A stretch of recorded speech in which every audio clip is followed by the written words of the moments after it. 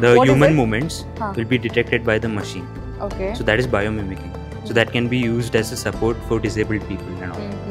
So they'll be supported to that, and uh, also it can be made as cost effective okay. using different kinds of materials. Interesting. Development in And you, ma'am? So we already worked on this project called Smart uh, Water, where uh, it is very useful for uh, village people, where we like purified water are in tanks, and we have to put some change coins and all. For that, uh, like it's very difficult to find those coins and all. So we uh, create some card Mm-hmm. where we put some money in it. We- You just scan that, and you'll get water of what amount you want. Are you involved in any project? What was that? Are you still working on it or? Uh, there is what I call the sonar sensor. It was a very basic project based on EC, like using a sonar sensor and some coding to do that.